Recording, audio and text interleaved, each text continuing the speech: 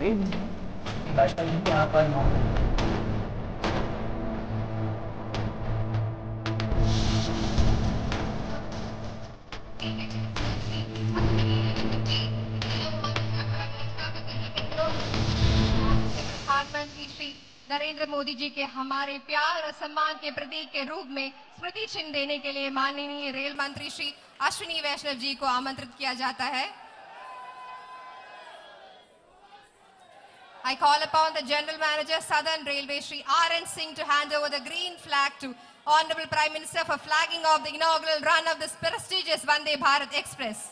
दक्षिण रेलवे के महाप्रबंधक श्री आर एन सिंह जी से अनुरोध करते हैं The historic moment has arrived. The green flag is shown. The train has started. History has been created.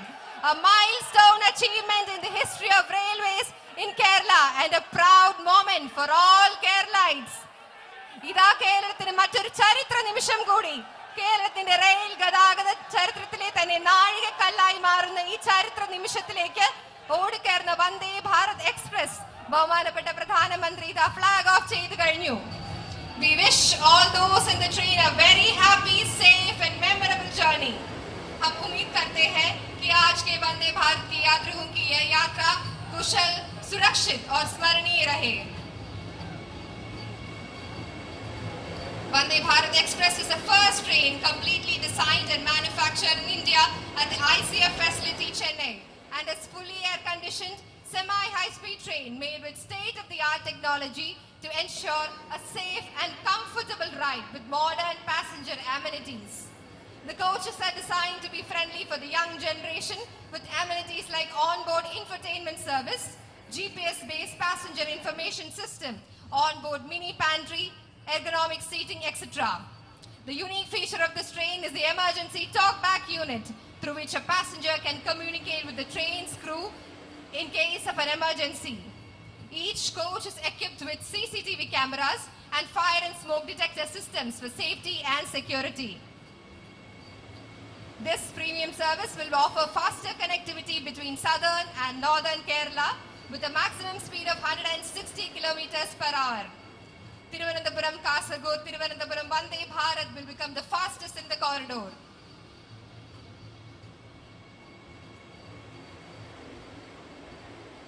We would like to extend our heartfelt thanks and express our immense happiness to our Honorable Prime Minister for sparing his valuable time to be here with us and flagging off the prestigious Vande Bharat Express train to Kasaragod.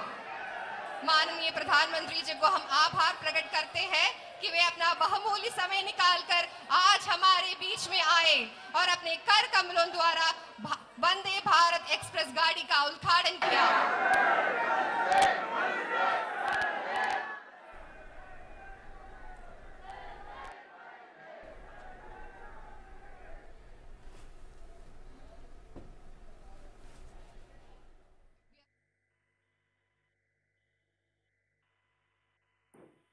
Now I request Sri Ashwini Vaishnav, Honorable Union Minister for Railways, Communications, Electronics and IT to welcome this August gathering.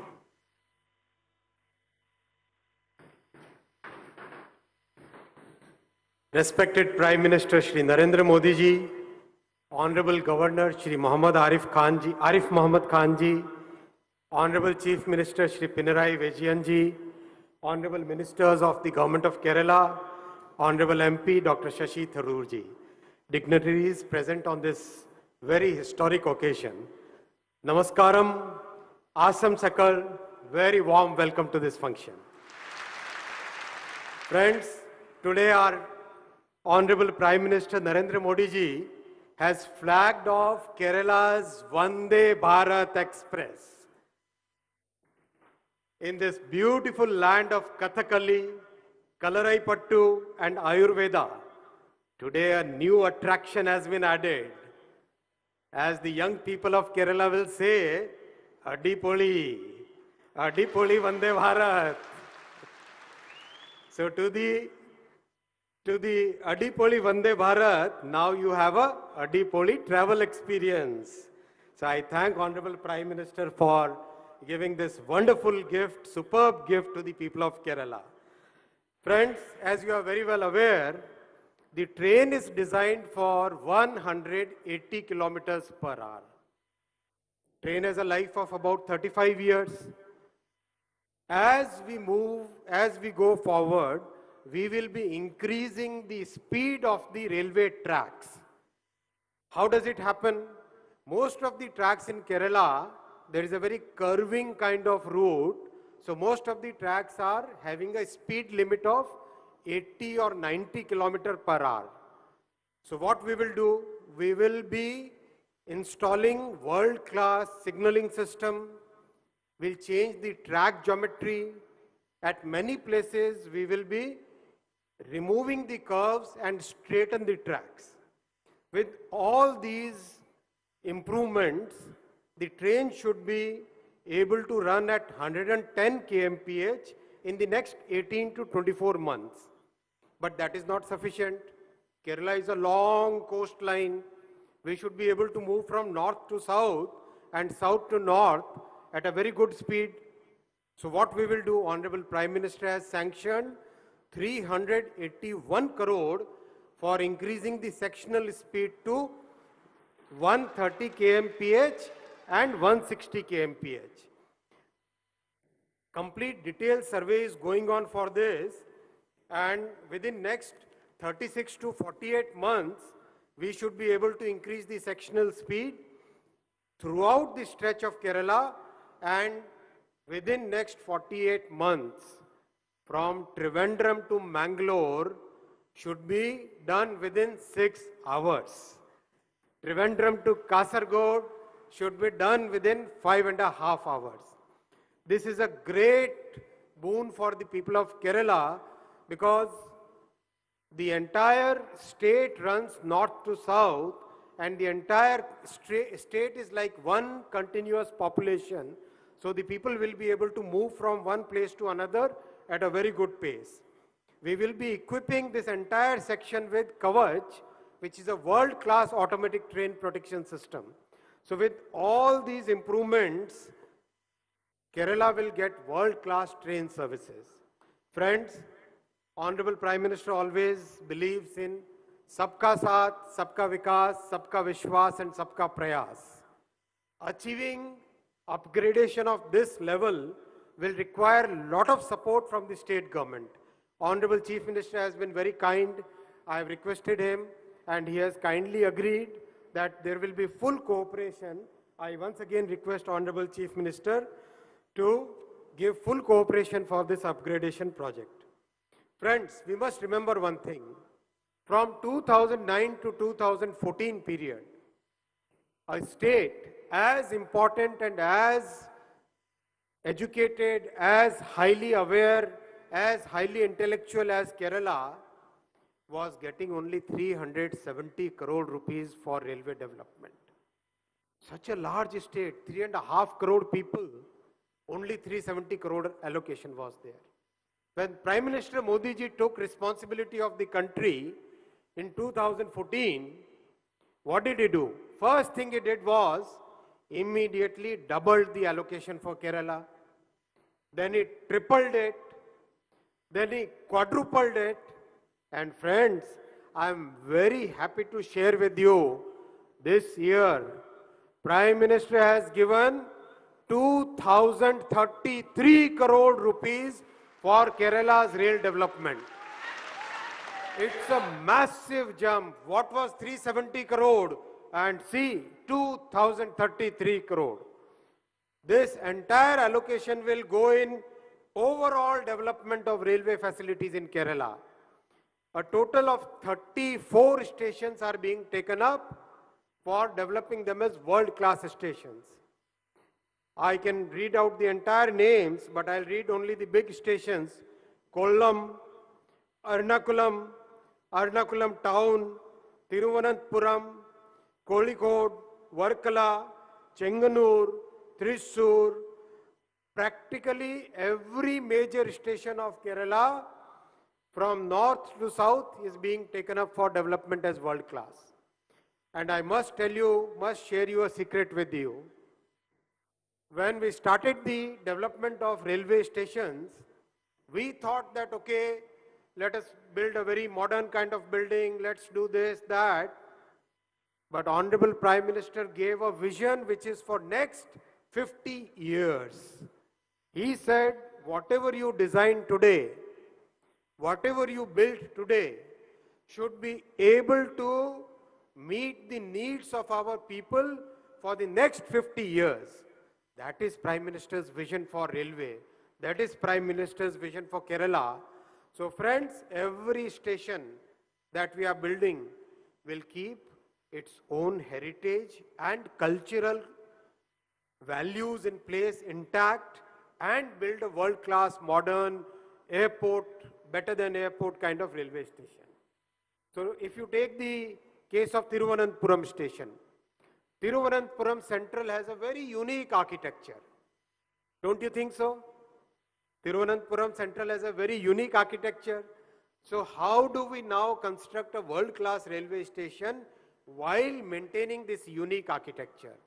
So we have taken up that challenge, deployed best of the architects, and with that vision of Prime Minister, we are rebuilding all these stations.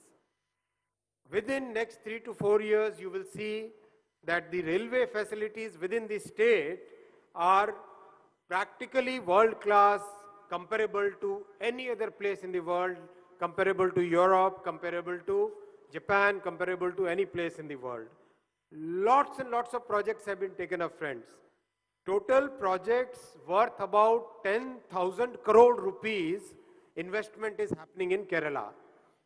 Lots of sections where capacity is required, doubling work is going on, multi-tracking is going on between Thiruvananthapuram to Kanyakumari, Ernakulam to Kumbalam. That way, practically from north to south, everywhere doubling and multi-tracking is going on. Now, what is more important?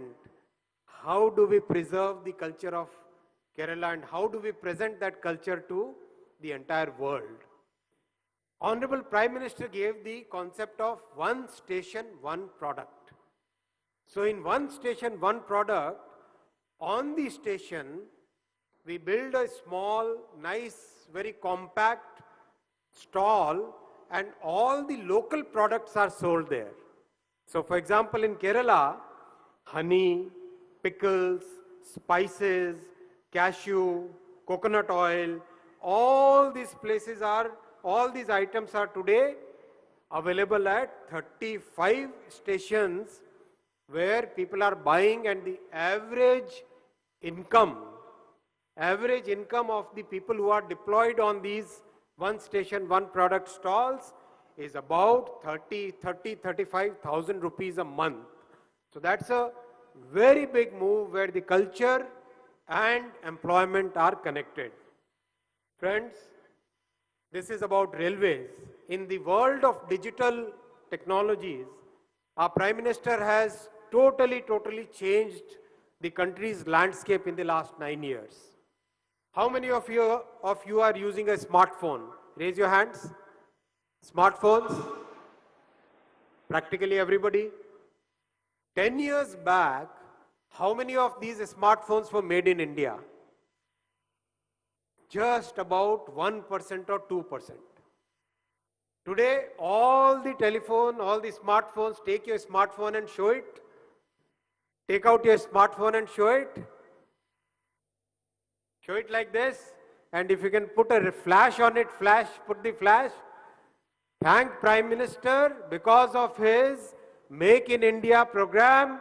Today, 99% of the mobile phones are made in India. 99% of the mobile phones are made in India. Mobile phone industry is today employing about 10 lakh people. 10 lakh people. The export of mobile phone this year is 11 billion dollars, close to 1 lakh crore.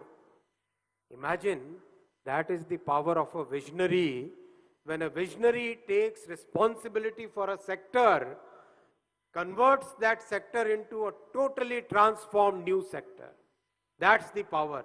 How many of you have used uh, payment system on mobile phone? How many of you have used Paytm? How many people have used it? Paytm. Raise your hands. Paytm. PhonePe, Bharat Pay, practically everybody has used payment system. Now I'll tell you a small narrative. Very recently, some very rich countries' ministers who meet, they ask how in India Prime Minister presses a button and the money goes directly into people's account. People are so curious about it. World's most developed countries, rich and prosperous countries, they have to write checks. They have to send the checks by a post office mail. And if the person has left that home or gone somewhere, the check is lying in the post letter box. Imagine. And here in India, our Prime Minister created the Digital India program 2016. And today, a single pressing of the button and whatever amount has to be transferred, it goes straight into people's accounts. That is the power of Digital India and that is the way our future is getting built, friends. Our youth today, when we ask them, the first thing they say is our future. That is what is getting built in the Digital India. Imagine just 10 years back, there were only 400 startups in the country. Only 400, 500. Today, 90,000 startups. 90,000 startups. So much energy is there, so much confidence is there among the youngsters that that is the foundation of our country, friends. This is the confidence which leads to development of new technologies like Vande Bharat, new technologies like India's own 4G, 5G technology stack. And India is today ranked as one of the fastest rollout of 5G technology. That is the power of Prime Minister's vision, friends. And that vision is getting reflected into Kerala's development. I thank Honorable Prime Minister for everything that he is doing for the country and for Kerala. Thank you very much. Namaskaram. Nanni.